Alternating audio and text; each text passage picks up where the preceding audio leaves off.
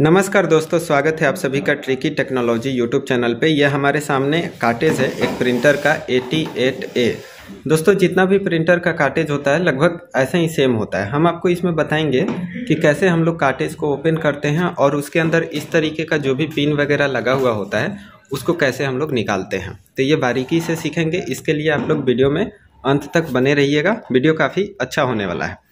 तो देखिए तो मैंने इस बॉक्स को ओपन कर दिया है। ओपन करने के बाद देख सकते हैं कि इसमें से ये निकाला है और ये भी निकाला है और प्लास्टिक को भी मैंने फाड़ दिया। तभी ध्यान आया कि आपके लिए कुछ बनाना चाहिए तो मैं अब शुरू कर रहा हूँ। देखिए, ये सबसे पहले इसको निकाल लीजिए।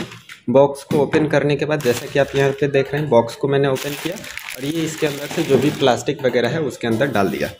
अब क्या करना है, सबसे पहले इस पिन को निकालना है। पिन को निकालने के लिए पकड़िए, खींच दीजिए, ये निकल जाएगा।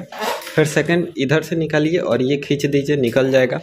फिर यहाँ पे देखिए, एक चीप के पास एक पिन होता है। ठीक है, ये जो पिन देख रहे हैं, ये चीप के लिए होता है ताकि प्रोटेक्टिव इससे आपको पता चल रहा है कि ये जो काटेज है बिल्कुल न्यू है। ये हमेशा चेक करना है, जिससे कि आपको पता चले कि ये काटेज न्यू है। ठीक है, इसके बाद सेकंड में क्या करना है कि देखिए, इस तरीके का एक और पिन मेन इम्पोर्टेंट यहाँ पे दिया हुआ होता है, जिसके अंदर से प्लास्टिक लॉक होता है, जो कि ये बताता है कि अभी तक इस काटेज का इस्तेमाल नहीं किया गया है।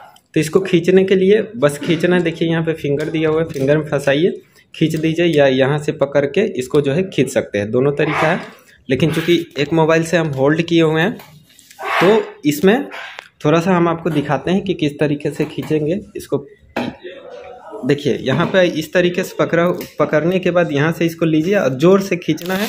खींचने के बाद देख सकते हैं कि इतना लंबा जो है एक प्लास्टिक का वायर निकलेगा।